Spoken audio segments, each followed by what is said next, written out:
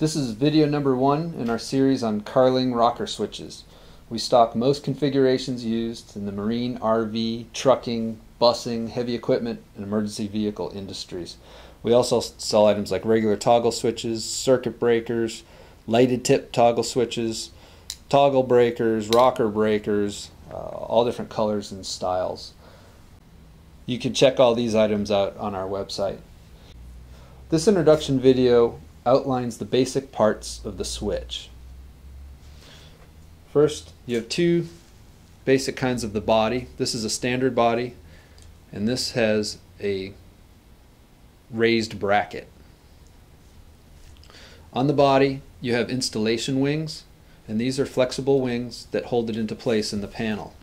So in a panel, to take it out, you can press those wings down one at a time and kind of walk the switch out. It's very easy. And boom, and it pops out. And to put them in,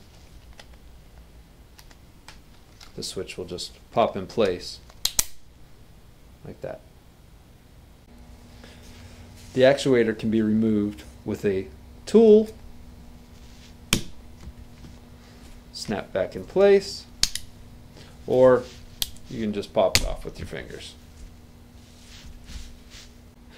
There's some markings on the side of the body of the Carling rocker switches, the most important of which is an alphanumeric sequence that's four characters long. It'll begin with a V like Victor. So this one I believe is V1D1 and these numbers signify the configuration of the switch. Although a full part number is 14 characters long, this four this four digit number will be enough so you can search on our website.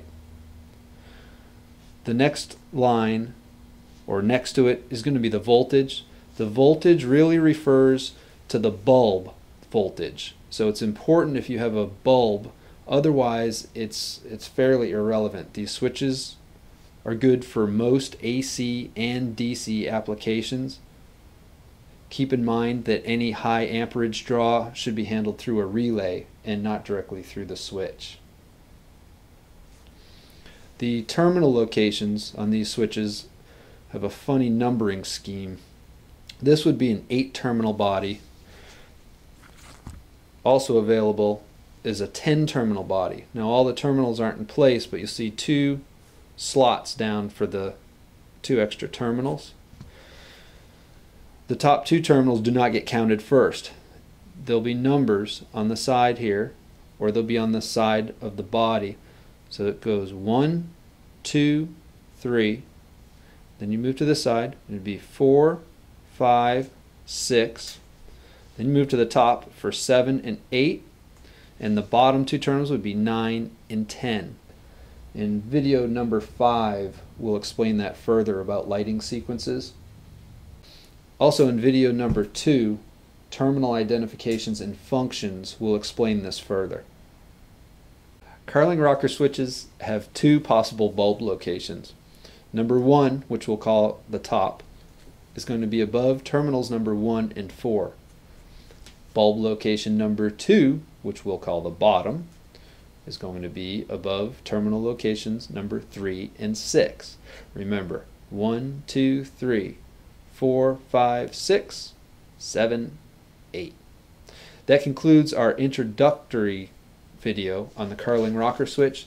Please look for our other more advanced videos, all of which can be found on our website, www.fpmarine.com, on the library page. Thank you for watching.